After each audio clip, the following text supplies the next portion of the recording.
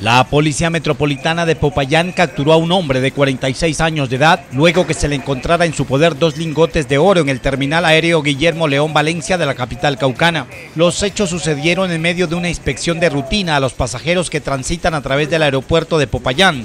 cuando un ciudadano que llegaba de un vuelo proveniente del municipio de Timbiquí del departamento del Cauca colocó su equipaje en el escáner de registro se logró observar que al interior de un computador portátil se encontraban elementos extraños.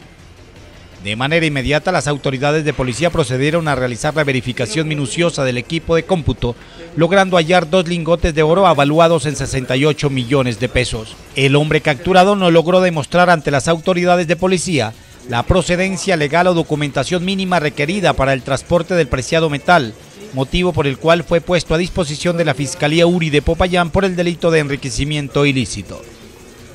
En novedades, noticias y comentarios con objetividad e independencia.